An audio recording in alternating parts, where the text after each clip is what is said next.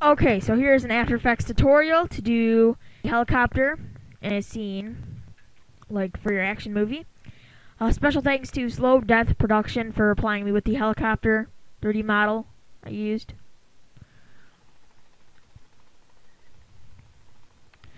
Links in the description to find the helicopter and their channel. So, first go up to After Effects and open your base footage. Just get a footage of some sky. Get the footage of um your sky just like this. Make sure you have a high contrast point to track if you have non-stabilized footage, like if you're not on a tripod or anything like that. So just like this. Now, first let's track the motion before we get the helicopter in. You can also go keyframing and put the helicopter in. I'm going to do track mo tracking motion since it's more advanced just a little bit. So first go into your, I don't really know what to call it. Right click on it, you'll see where I'm pointing. Right click on it, click new null object. Okay? Just like that. Then um, left click on your footage and click on track motion. Okay, now click on position and rotation since the since it may be rotating, I'm just gonna see what that does. Open it up just a little bit and open the middle one up. Okay. Open this one up and open that one up. Just like this. Now, apply it to any high contrast point. I'm going to be using this light on this house Okay, now to track the motion, just go by click this or click this. I'm going to click that.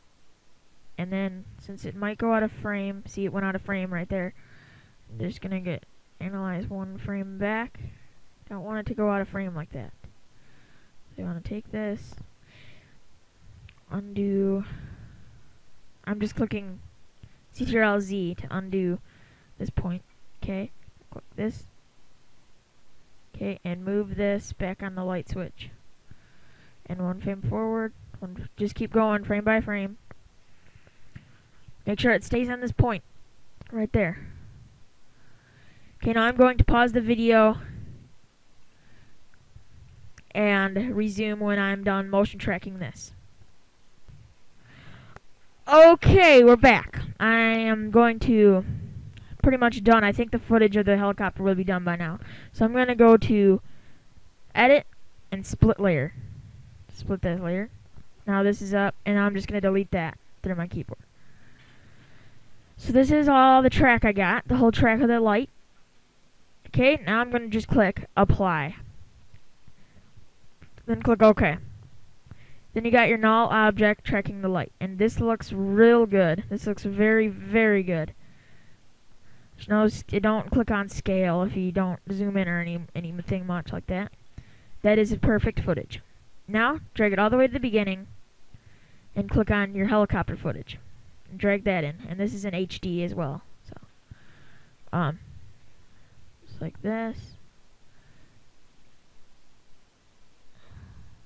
And this is HD, just the footage of the cameras in HD as well.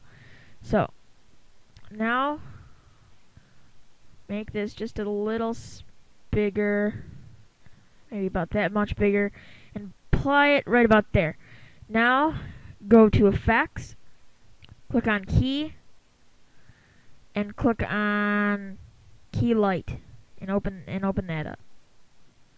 Actually, don't open it up. Drag it on your footage. Duh. Okay. Sorry, After Effects is uh, having some serious lagging difficulties. Okay, here it goes and get it where the helicopter starts to come in, which is right about there.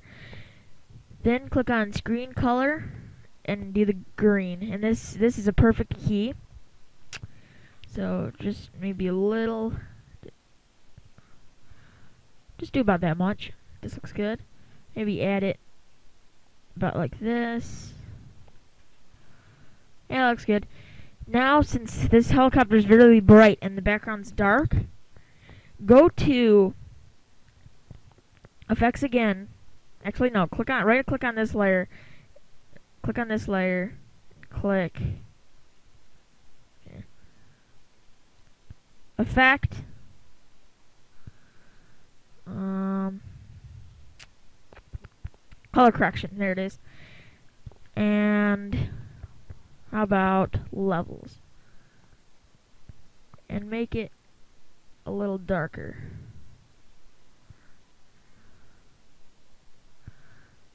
Like, about that much. And maybe like that.